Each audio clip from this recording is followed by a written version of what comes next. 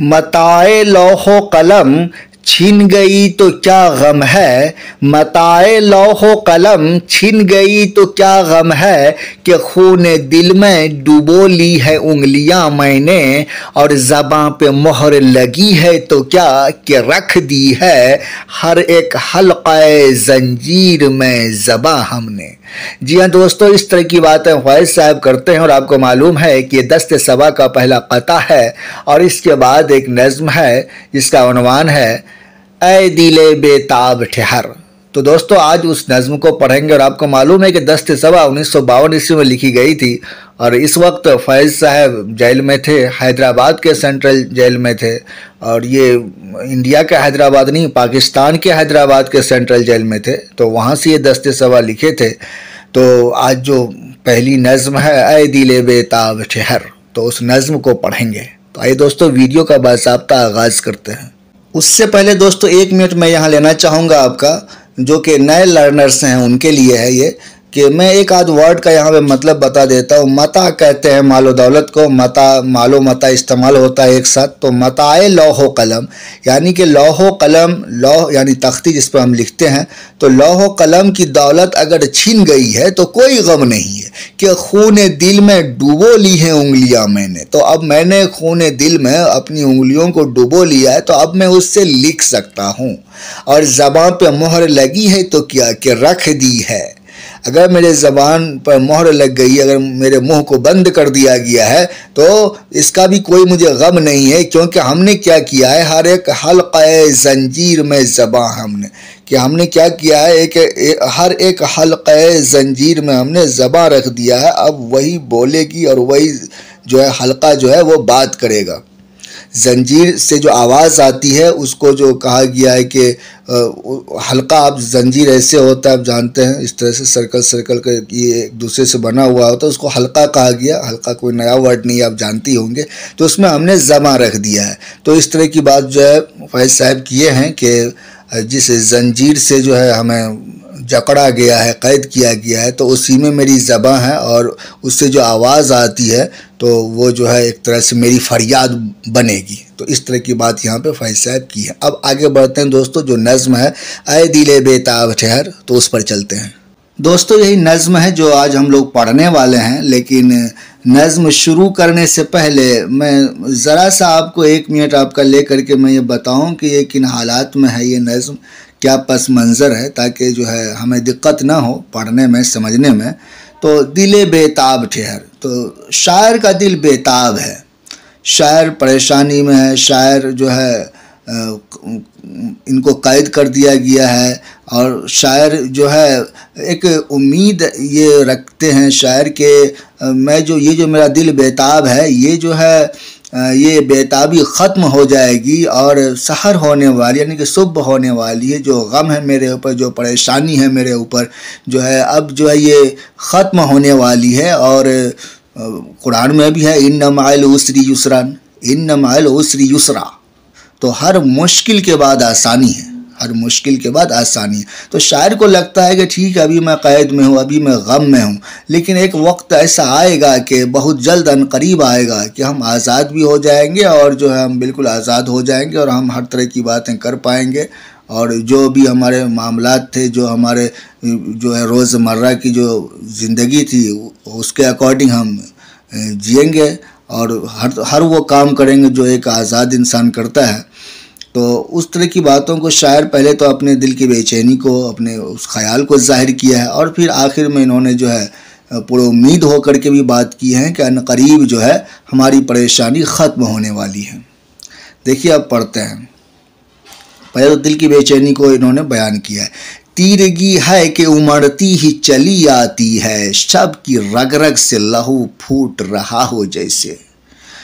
तो तीरगी, यानी कि अंधेरापन डार्कनेस जिसको बोलते हैं, उसको तीरगी कहा गया, अंधेरा, कि उमड़ती ही चली जाती। अभी तो हालत ये है कि बिल्कुल ऐसा जो है, अंधेरा जो है, उमड़ती ही चली जाती यानी कि बहुत तेज़ अंधेरा हो रही है। तो तीरगी है कि उमड़ती ही चली आती है, शब की रग रग से लहू फूट रहा हो जैसे। यानी कि काली रात, अंधेरी रात जो है, उसका ज़िक्र शायर कर रहे हैं कि जो गम की जो काली रात है तो वो और शदीद बढ़ रही है और शब के रग रग से लहू फूट रहा हो, जैसे यानी कि बहुत तेज़ अंधेरा हो रहा है। अंधेरा से मतलब रात का अंधेरा नहीं, शायर अपने दुख दर्द का जो अंधेरा है, जो गम की जो काली रात है तो उसकी बात कर रहे हैं। देखिए, आगे कर रहा है शायर कि चल रही है कुछ इस अंदाज से, नब्ज हस्ती, दोनों आलम का नशा टूट रहा हो जैसे।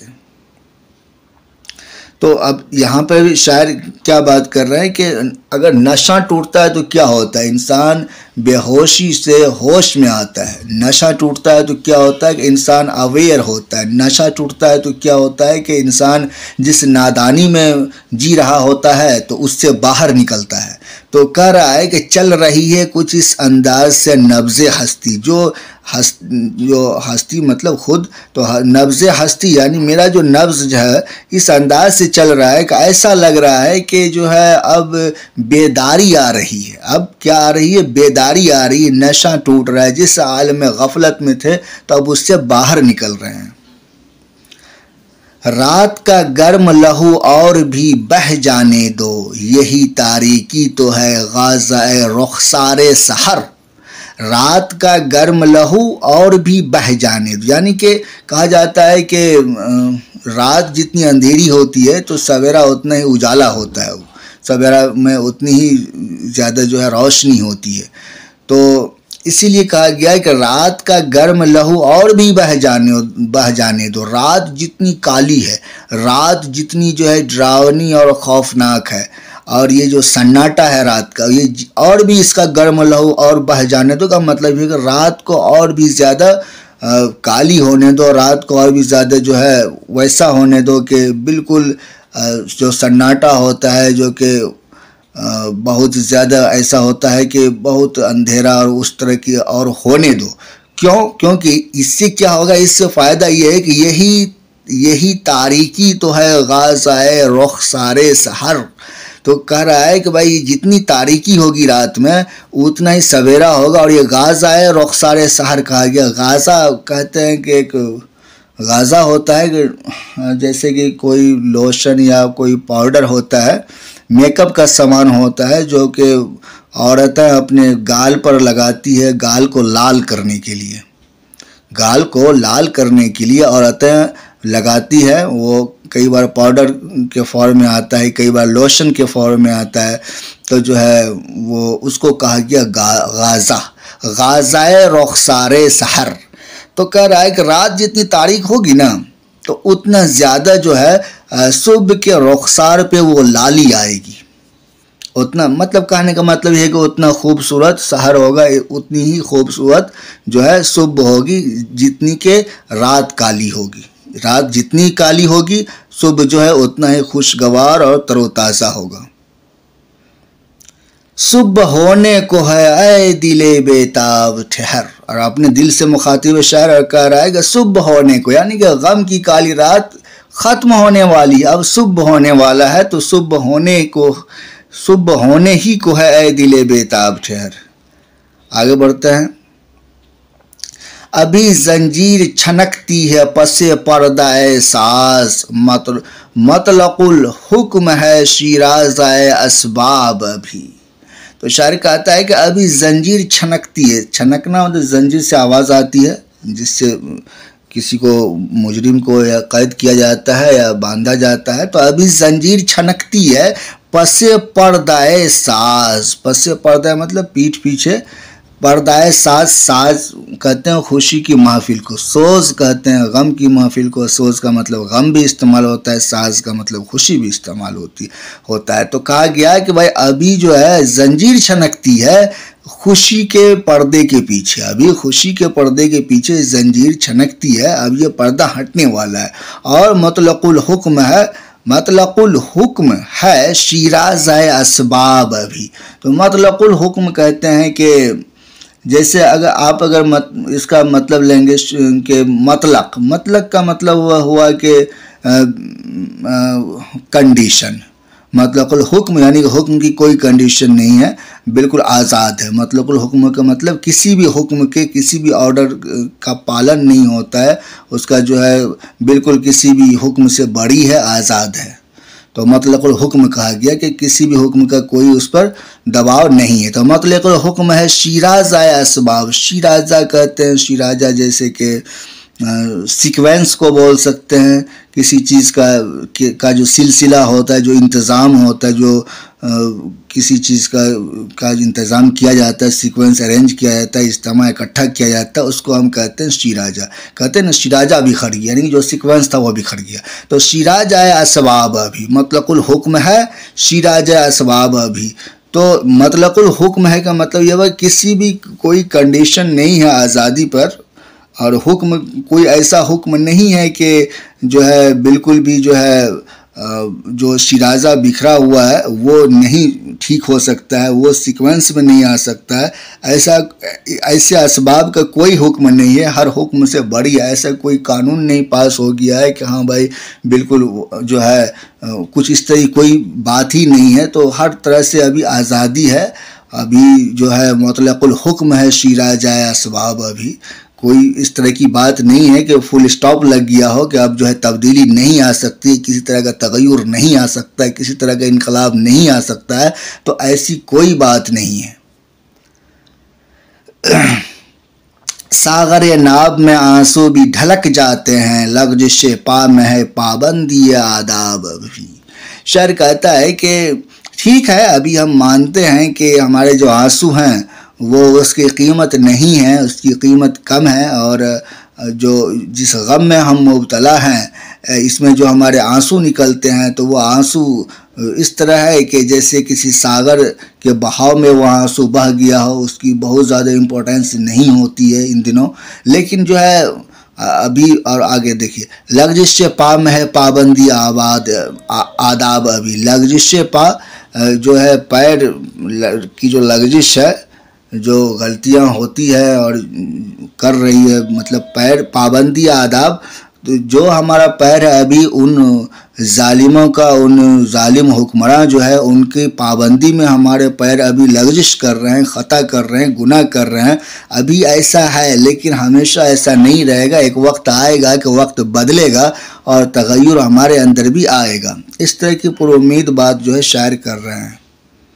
देखिए, आगे और एक बहुत अच्छा शेर है, कह रहा है कि अपने दीवानों को दीवाना तो बन लेने दो, अपने मैखानों को मैखाना तो बन लेने दो। यहाँ पे शायद यूनिटी की बात कर रहे हैं आप देखिए, दीवानों पुलल इस्तेमाल हुआ है, दीवाना सिंगलर है। मैखानों पुलल है, मैखाना सिंगलर है। तो शायर जो देख रहा है कि भाई अभी बहुत सारे ग्रुप्स हैं हर तबका अलग अलग बटा हुआ है। कोई कुछ चाह रहा है, कोई कुछ चाह रहा है। जो सियासी इंतशार है और जो बिखराव है, ये अगर लोग यूनाइट हो जाएँ तो फिर जो है हम जुल्म जालिम हुक्मरान का मुकाबला कर पाएँगे। अपने दीवानों को दीवाना तो बन लेने तो जो दीवानों जो बहुत सारे बिखरे हुए हैं अलग अलग तरह से अलग अलग ग्रुप में तो उसको यूनाइट होने दो। फिर देखना क्या होता है। उसी तरह से मैखानों को मैखाना तो बन लेने दो, जो कि जो इस तरह के जो है सोसाइटी में, समाज में हक, इंसाफ और मसावत चाहते हैं तो ऐसे जो दीवाने हैं ऐसे जो मई खाने दीवाने हैं तो जो है उनको एक होने दो और ऐसे जो मई खाने हैं जहाँ से जो है ये इस चीज़ का मई पिलाया जाता है कि भाई समाज में इंसाफ आए, बराबरी आए और जो जुल्म, जबर की हुकूमत है ये ख़त्म हो, हर किसी को उसका हक मिले, इंसाफ मिले तो ऐसे जो मई खाने हैं जहाँ इस तरह की, इस तरह का शराब पिलाया शराब पिलाया जाता है तो जो है उसको एक होने दो, इकट्ठा होने दो यूनाइट होने दो। देखिए दोस्तों, इसमें कह रहा है कि जल्द ये सतवत असबाब भी उठ जाएगा, ये गरा बारी आदाब भी उठ जाएगा। तो जल्द ये सतवत असबाब सतवत असबाब किसको कहते हैं? सतवत कहते हैं जैसे कि सख्ती हो गई, सख्त सख्ती हो गई, गिरफ़्तार करना जो गिरफ्तारी, जो जिस गम में हम गिरफ़्तार हैं, जो सख्ती मेरे ऊपर की जा रही है, ये इसके जो इसबाब हैं, ये बहुत जल्द क्या हो जाएगा? उठ जाएगा, ख़त्म हो जाएगा। और ये गरा बार ये आदाब भी उठ जाएगा। तो गराबारी जैसे कि जो हमारे ऊपर बोझ है जो जुल्म जबर की हुकूमत का जो बोझ हमारे ऊपर डाला गया है, हमें जो नाहक जो है परेशान किया गया, या कि जिस तरह से भी हम मकरूज़ हैं कि हमारे ऊपर जो है एक ालिम हुक्मरान की हुकूमत है तो जो ये जो बोझ है ये क्या हो जाएगा? ये ख़त्म हो जाए, गरामबारी, ये गरामबारी यानी बोझ, गरामबारी आदाब भी उठ जाएगा कि मेरे ऊपर ये एक पाबंदी लगाई गई है कि भाई ालिम हुक्मरान का ही आपको जो है अदब करना है, उन जो वो जिस तरह से हुकूमत कर रहा है, आपको उन्हीं के अकॉर्डिंग चलना है। तो ये जो गरामबारी का आदाब है, ये बहुत जल्द क्या होगा? उठ जाएगा। और आगे लास्ट शेर है ये, ख्वाह जंजीर छनकती है, छनकती ही रहे। तो कह रहा है कि भले जो है जंजीर छनकती, यानी कि जो जंजीर छनकने का मतलब ये हुआ कि जिस तरह से भले वो हमें कैद करके रखे हैं, ठीक है, अभी कैद करके रखे हैं, और कैद में जो जिस जंजीर में हमें जकड़ा गया है, बांधा गया है, वो जंजीर भले ही छनक रही है तो छनकती रहे, लेकिन हमें इस जंजीर के छनकने से कोई गम नहीं है, क्योंकि हमें मालूम है कि हमारा वक्त बदलेगा और हर मुसीबत के बाद जो है आसानी आती है, हर परेशानी के बाद आसानी आती है। तो हमें भी ये उम्मीद है कि जो है हम, मेरा वक्त भी बदलेगा और जिस आज़ादी में हम जी रहे थे पहले, उसी तरह की आज़ादी हमें मिलेगी। और शायद इसमें पूरी उम्मीद है और जुल्म, सितम की जो हुकूमत है, उसके ख़िलाफ़ जो अपनी आवाज़ बुलंद किए हैं। अच्छी नज़म है। चंद अशार आप याद रखें। एग्ज़ाम में हो सकते हैं यहाँ से कुछ अशार आए और कहे आपको तशरी करने के लिए, क्योंकि शुरू में ही है तो इस वजह से। तो चलिए दोस्तों, मिलते हैं किसी और नए वीडियो में। अपना बहुत सारा ख्याल रखिए। अल्लाह हाफिज़।